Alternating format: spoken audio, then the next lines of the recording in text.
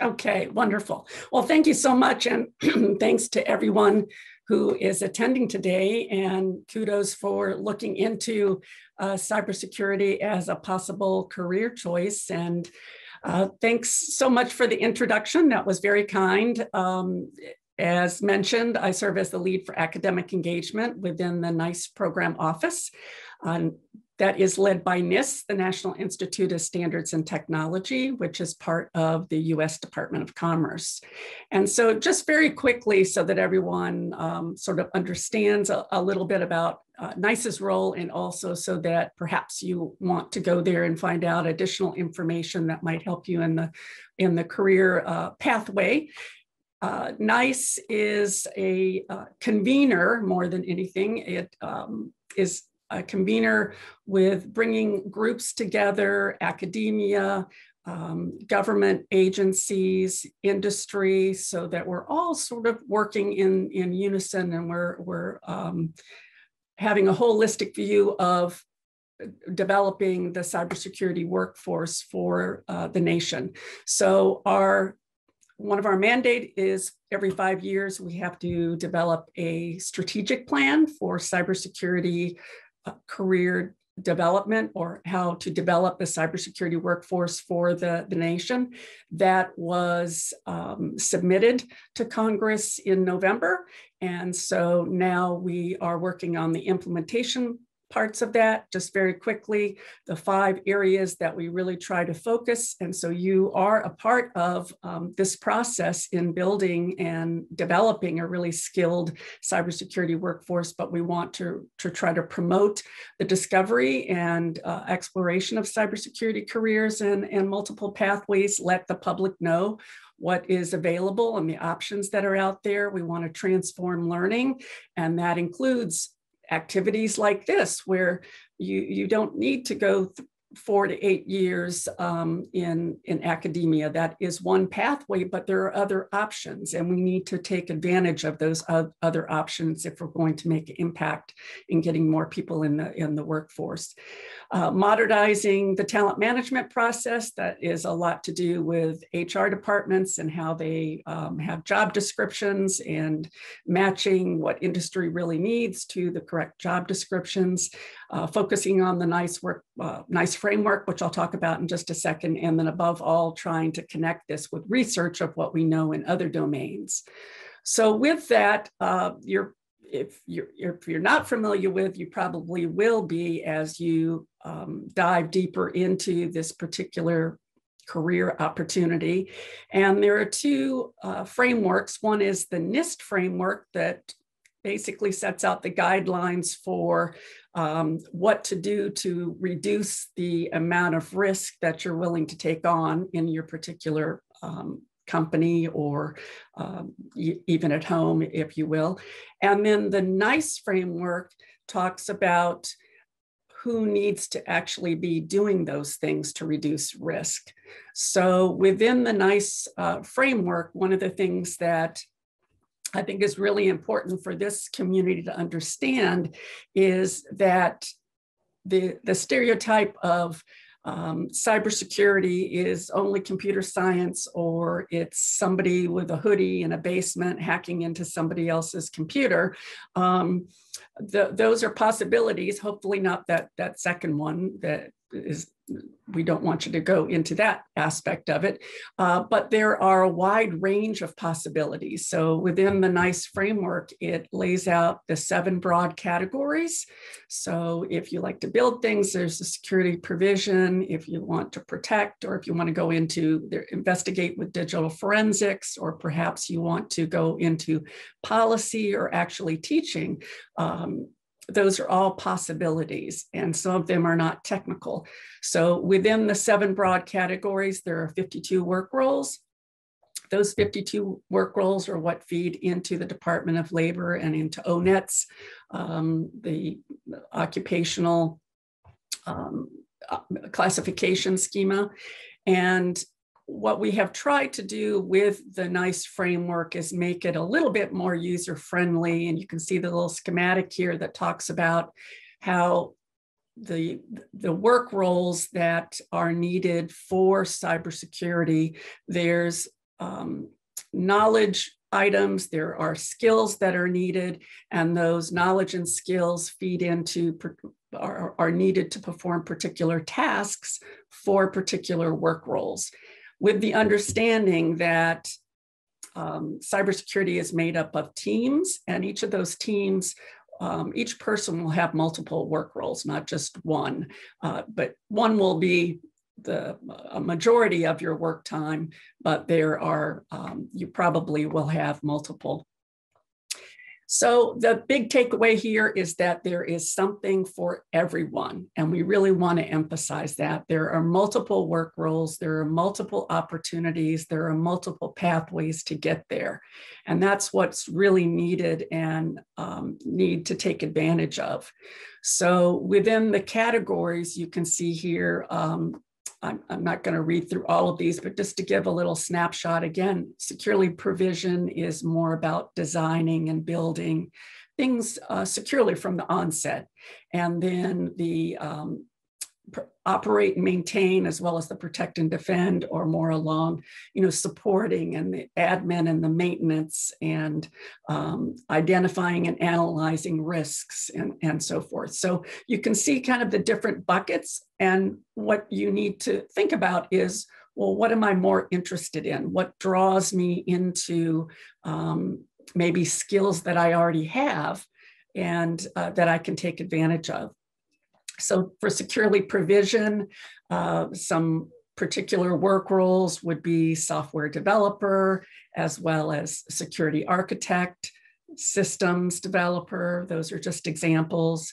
Um, oversee and govern. Again, if you want to go into legal or you want to go into um, compliance, uh, you want to teach, um, maybe you want to go into policy or into program management or um, project management. Those are all acquisition.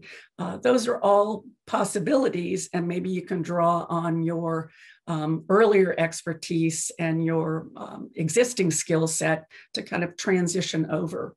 Uh, protect and protect, uh, protect and defend. So incident responders, cyber defense analysts, those are just examples of, of work roles and um, operate and maintain database administrator and data analyst, which are expanding in leaps and bounds with uh, the amount of content and the data that is um, the focus on kind of data management, but also systems admin and technical support. So you can actually drill down if you go to the, the NICE website and you um, search for the NICE framework, you can drill down and you can actually see, and there are several tools, and I'll try to share with you those tools so you can see, well, what, what exactly I think that I'm interested in X, what are some of the skills that I would be doing or some of the, the activities and the tasks that I would be performing if I was to go into that? So you can see if that's a, if that's a good match. Um, all of the tasks are list out, listed out, so you can actually cross map. I'm interested in this particular work role. What are some of the tasks for that? Um, you know, everything from establishing and maintaining communication channels with stakeholders. Um, you know, another is developing systems and architecture that architects which is consistent with an organization's uh, cybersecurity guidelines. Um, there's also a list of skills as well as a, skills, uh, a list, long list of the knowledge statements. And this just allows you again to see what are the, the um, what are the items that I need to cover? Maybe what do I already have? What do I ha already have a good school uh, skill set of? And what are the gaps that I might want to um, pursue in learning a little bit more of? I've highlighted this, um, the the knowledge statements, descriptions, because there are the first six knowledge statements within the NICE workforce framework are uh, found throughout all 52 work roles. So sort of a common body of knowledge on networking concepts and protocols, around risk management, around laws and policies and ethics, privacy principles, knowing a little about cyber threats and vulnerabilities and um, business continuity. So those are all common knowledge content constructs that are found with all 52 work roles. So what we are doing now is uh, we, we updated the workforce, uh, the, the NICE framework so that it was a little bit more user friendly. And currently what we are trying to do is come up with the competency statements, um, ways of uh, combining, if you will, the, the tasks, the knowledge and the skills that are needed for um, completing particular competencies, not only so that employers can be able to tell you know your proficiency in, in those areas but also so that um, educational entities, whether K 12 or higher ed, can start to develop um, curriculum. And so that all the little pieces are connecting and we're all starting to be on, on the same, um, same path in, in getting to our end goal of making a very knowledgeable and skilled workforce.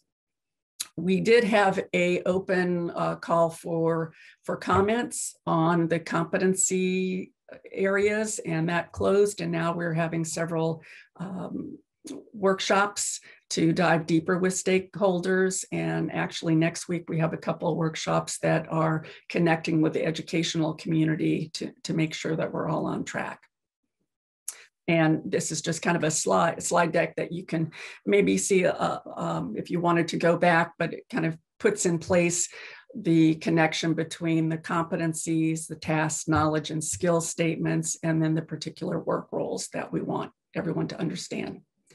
So with that in mind and a little bit of background, uh, some common questions here you might be interested in. What, well, how do I get into cybersecurity or perhaps change to a, to a different work role if you're already in it? Um, and where do I start?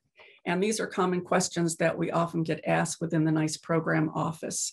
And so hopefully you can see from that little brief um, overview that I provided is whenever we're asked that, the next question we, we always turn around and ask is, well, what are your interests and which pathway are you thinking about going into? Because again, Cybersecurity is not a monolithic entity. It's across multiple industry sectors, and there are multiple possibilities, whether it's technical or non-technical. So you need to, to have an understanding of your particular interest and maybe your skill sets and what, what you already have that you can transfer in, as well as which pathway are you thinking about going into, uh, you know, a, um, a just a boot camp or maybe a special um, academy like the, the, one that is uh, being launched here in Virginia? Or are you thinking about a two or four year um, you know, educational, formal educational setting? So the pathways would, would be different. So one of the things that I wanted to make you aware of if you're not already, and that is there is a tool out there, it's called CyberSeek, cyberseek.org. And the tool, uh, we help fund it. It is a partnership between CompTIA and Burning Glass that basically scrubs the, the job um, openings throughout the US and tries to keep track of them. And then from that, we have um, sort of a baseline nationally. What are the total job openings in the US? Uh, and from that, you can also see the top job titles that are being asked for. Um, you can also search by either public sector or private sector. It also allows you to drill down into your state level. So here in Virginia, since this um, program is within Virginia, you can see that the total current total job openings are close to 50,000. And from that, you can also see the top job titles that are that are coming across those job boards. You can also see the, the categories that I mentioned before. So the majority of uh, job openings within Virginia at this time are in the operate and maintain and the securely provision category. And then you can also see the certifications that are being asked for. So, um, you know, which, which ones are in high demand. Um, and, and this is really important when you're trying to figure out the pathway that you want to go into. Certainly, uh, we want people to go into cybersecurity no matter which area, um, but if you are interested in staying in a particular area and uh, you, you want to you want to make sure that what you're investing in your time and your effort is uh, going to have a job at the end for you. And so it's nice to kind of track and see this data and see what's being asked for. You can also narrow down even further into the different areas within. So here you can see the difference between Richmond, Virginia, and then the Northern Virginia area. Now, what's kind of interesting here, I know it's a little higher when it was only about 50K for Virginia, but that's because this is including the Washington, Northern Virginia area. So you're getting the Maryland, West Virginia, that area included in here. But again, you can see that's a large number of uh, job openings. Uh, you can search for the job titles that are in the highest need currently and what categories and then what certifications. And there's a, lots of other data here too. So that's cyberseek.org that you might want to take a peek at and just search around and gather a little bit more information. What's kind of interesting in connecting it to um, the, the program, the academy program, is that when you, and I just did the example here for the re, uh, reskilling, the upskilling would be very similar. So you go through the same, um, the, the, same comparison. But I just wanted to make sure that uh, folks were aware that the opportunity that is available here. So for example, one of the courses is um, the Security Essentials uh, no, the hacker tools, techniques, and exploits is preparing you for this uh, GCIH uh, certification. And if you look online to explore a little bit more in depth of what that includes, you can not only go more in depth, but you can see the cost for that. So here's an op- a great opportunity to um, to to have um, access to some, some great courses that you know from looking at the data that um, CyberSeek provides are certifications that are in high need. And here's an opportunity at a much lower cost. And the same thing with the Security Essentials Bootcamp and the um, GSEC uh, Security Essentials certification and the cost if you were just doing that outside of this academy. You can also see that they have highlighted in the Academy the uh, sample job titles that hopefully would uh, this would be applying to.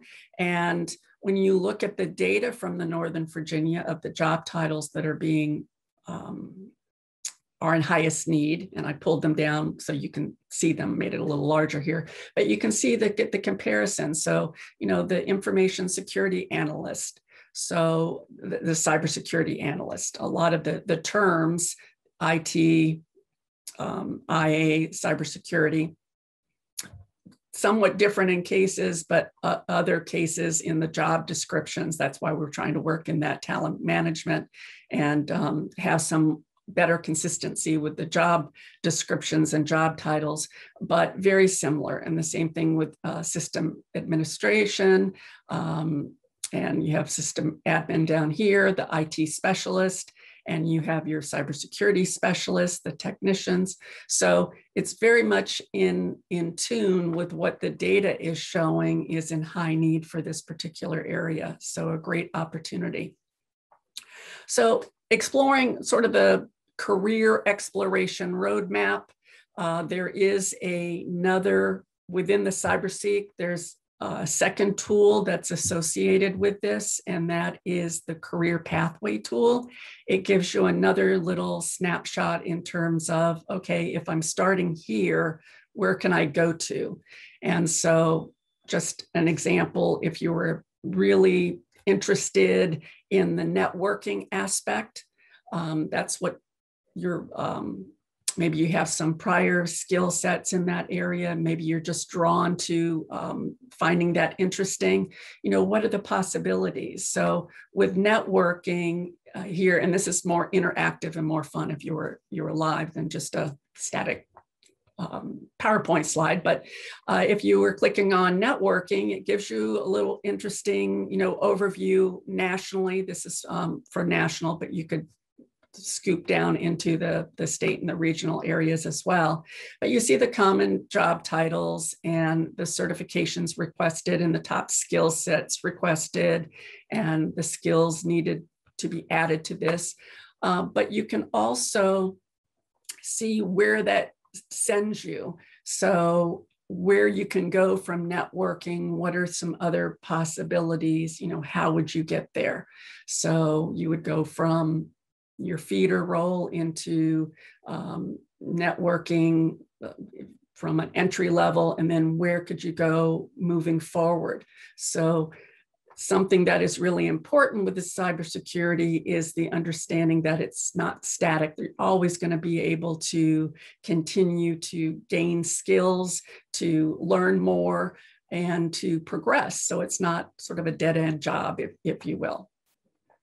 So with that in mind, I just wanted to um, give you those resources and uh, have you be able to explore a little bit more. Certainly there are other opportunities available just through this um, career fair as well as the resources that they give you online, but just another um, trying to, uh, waving the banner, trying to get you to consider a career in cybersecurity. Uh, one, a couple things to keep in mind is one, cybersecurity um, careers for all. There is something for everyone, whatever your love in your particular industry. If you are interested in healthcare, there's a connection. If you're interested in, um, you know, publications and communication or marketing, there's a connection there. So there's something for everyone. There's an increased need for skilled cybersecurity workforce. I think daily you hear about the breaches and the um, ransomware attacks and the this and the that. And uh, in the digital age, we're, we're that's not going to really go away, at least very um, very quickly. So there's an increasing need for more and for more that are highly skilled. So this is a, a great opportunity. The other thing to keep in mind is that it's a great opportunity for transferable skills. So there are skill sets that are really needed in cybersecurity in all of the work roles that are um, not necessarily technical, but communication and teamwork and critical thinking and um, you know IT and keeping up with um, with learning, and all of those are transferable skills that could be applied so that you're not starting from just ground zero. So keep that in mind. Also, the job flexibility. So if you were in education and you want to get out of education, but we really need you in education. But let's say you want to get out, uh, you could still teach and teach cybersecurity. That's one way of keeping you in both spots. But you could also easily in cybersecurity go into a whole new industry step, sector.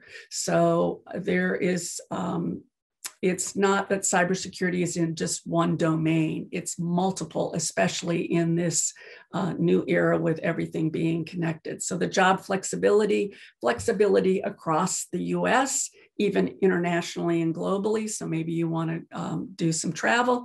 You know, there's all sorts of opportunities there. Um, oops. Here we go. Uh, cybersecurity workers are part of a dynamic industry. So uh, again, so many new things um, Internet of Things, everything in the households being connected and gadgets right down to Barbie dolls and, you know, toy gadgets. Um, AI, uh, quantum coming out, new privacy issues coming out. It's just a really dynamic industry and it's kind of fun to see it, it growing.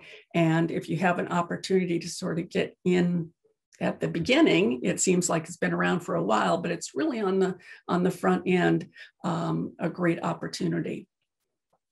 And again, more than just computer science or a hacker.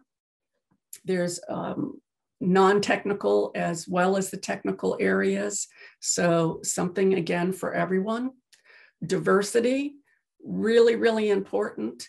In order to really meet the requirements for cybersecurity, we need to be able to think differently. We need to think of think through, um, you know, get into the head of what um, others and hackers might be doing um, and how are ways that we can counteract that and that takes multiple perspectives and we have to have to look through that through the lens of diversity is really going to give us um, an advantage if we we can't just keep doing the same old thing and hoping something different is going to happen. We need different thought processes.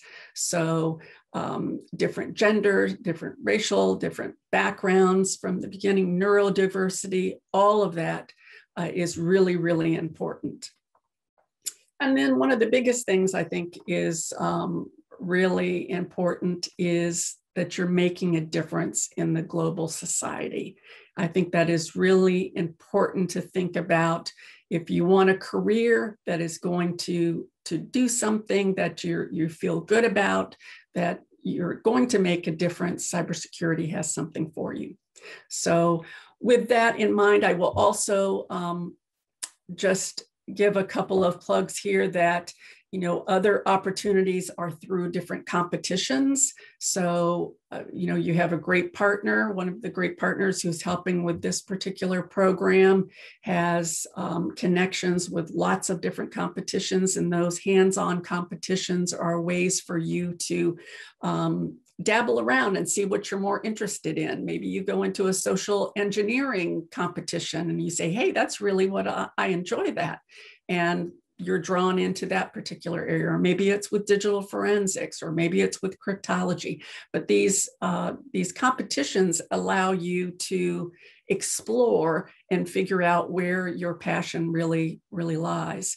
The other really key point in any of the STEM fields, but I think especially in cybersecurity, is having mentors and connections, the networking. That's so so important and so um, a great partner here for mentoring. They do a fabulous job. They have an active online um, uh, Twitter and, and all sorts of social media engaged in lots of conference and just a disclaimer i am part of this group so i'll just mention that it is a terrific uh, opportunity, but I can't emphasize enough that the networking and the mentoring are really, really critical. They help you navigate kind of the landscape and make the connections, which are so important. So with that, um, I, I will end and ask if there are any questions that, that you might have. Um, and hope that you will consider a, a great career in cybersecurity. Awesome. Thank you, Davina. Um, great presentation. Love all of the resources. Uh, we did have a question. Mm-hmm. Um, will you share the PowerPoint? Absolutely. Yes. Okay. Because everybody's like, oh, this is great information. They want to see all the stuff. So, um, yes, absolutely. That'll be awesome. We'll share it out probably next week.